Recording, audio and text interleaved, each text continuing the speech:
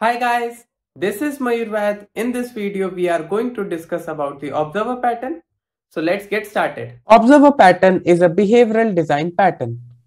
Observer pattern is a pattern in which an object called the subject maintains a list of its dependents called observers and notifies them automatically of any change in its state.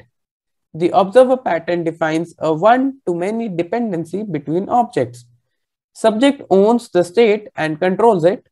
So there is one subject with data. The observers, on the other hand, use the state even if they don't own it. There are many observers and they rely on the subject to update them automatically when the state changes. Observer pattern basically helps to define a subscription mechanism. Dependent objects can even decide at runtime whether they want to be kept informed so objects can subscribe and unsubscribe during runtime. A newsletter or comic series subscription is a good way to visualize the pattern. So let's say a customer is very interested in the newest version of a comic series, which should become available in the store very soon. The customer could visit the store every day and check product availability.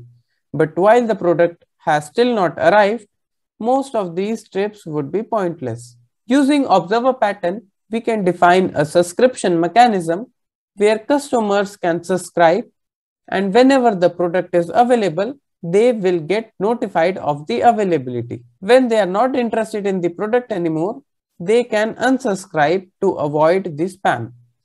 Once they unsubscribe, they won't be notified anymore. As you will discover, there are a few different ways to implement the observer pattern but most revolve around a class design that includes subject and observer interfaces. Now step 1 is we declare the observer interface which should have a notify method. All observers implement the same observer interface and the subject communicates with all the observers only via this interface. Now why are we having an observer interface? Simple because we always program to an interface. Real apps might have many different types of observer classes that are all interested in tracking the state change of the same subject class. Now, coupling the subject to all of those classes will be a very bad object-oriented design as it won't be accessible and it will violate the open-close principle. How? Think that we might not even know about some of the observer classes beforehand and how will we accommodate if a new observer class is introduced in the future. Now, step two is we declare the subject interface and declare methods for adding an observer to the subscription list, removing it from the subscription list and updating all the observers about the state change. Now, why subject interface? Now, our app might have several different types of subjects and we want all types of observers to be compatible with all types of subjects. Now, usually the code to basically add an observer as a subscriber, to remove an observer from the subscription list and to update an observer looks the same for all types of subjects. So the obvious place to put it is in an abstract class derived directly from the subject interface. However, if you are applying the pattern to an existing class hierarchy, or you want different implementation of adding an observer, removing an observer and updating an observer, you can consider an approach based on composition.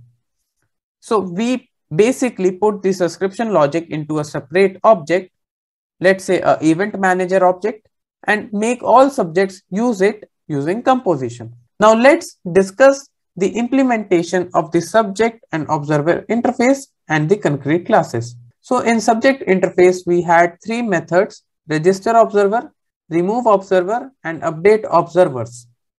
So register observer method will basically add the observer passed as an argument to the observer list. This list we have defined in the subject abstract class, which basically implements the subject interface. So this method basically means the observer has subscribed to listen to any change in the state of the subject object. Now, remove observer method will basically remove the observer passed as an argument from the observer list if the observer is already a listener to the subject. Now, this is equivalent to unsubscribing. Update observers method basically updates the observers if the state of the subject object is changed. Now, it loops the observer list and calls the notify method. This notify method was declared in the observer interface. So basically, for each observer object present in the observer list, we will call the notify method and pass the context data. Now let's look at the notify method of the observer interface. The concrete observers will implement the notify method declared in the observer interface. Observers would need some context data about the event. It can be passed as an argument of the notify method. But do you think it is wise to pass the context data as an argument? This is some area of application that might change in future.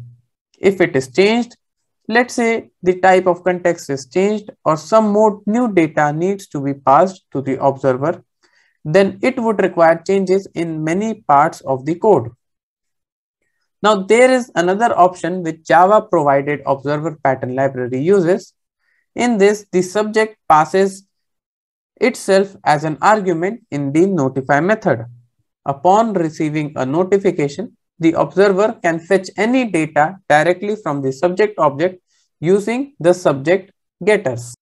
So design principle here says that we should always aim for loosely coupled design between the objects that interact. Now what is coupling? Coupling is basically the degree of dependence between the software modules. It basically measures how closely connected two modules are. So basically if coupling is low, that means the modules are basically not much dependent on each other and they are kind of independent. So when two objects are loosely coupled, they can interact with very little knowledge of each other. Observer pattern is primarily based on the object-oriented principle of low coupling. Subject and observers are loosely coupled with each other. Only thing the subject knows about the observer is the observer interface. We can add or remove observers anytime without any change in the subject. In fact, we can also replace an observer at runtime with another observer object and the subject won't be affected at all. We can also introduce new observer classes without any change in the subject class. To introduce a new observer class, all we have to do is implement the observer interface in the new class and register it as an observer in the subject class. We can also modify either the subject or the observer class independently without affecting the other. Memory leaks in the observer pattern, also known as the lapsed listener problem.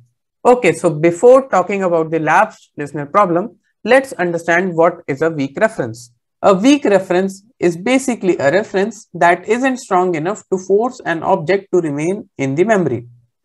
A weakly referenced object is cleared by the garbage collector when it's weakly reachable. By weakly reachable, we mean that object has neither strong nor soft references pointing to it, and the object can only be reached by the weak reference.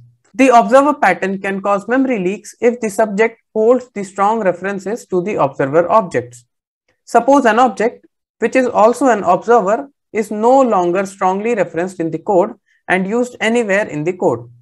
Now the leak happens when that observer object fails to unsubscribe from the subject and we have a strong reference to that observer object.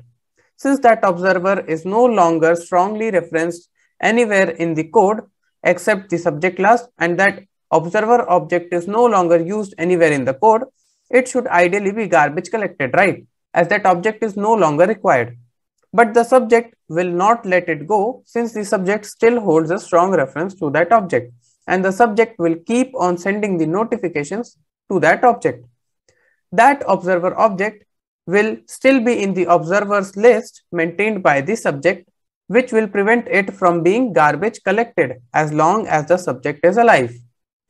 And that time period could be until the end of application. This memory leak problem can be prevented by using weak references to the observer objects.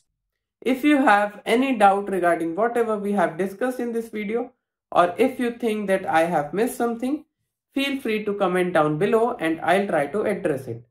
Till then, Take care. Bye bye. See you in the next video.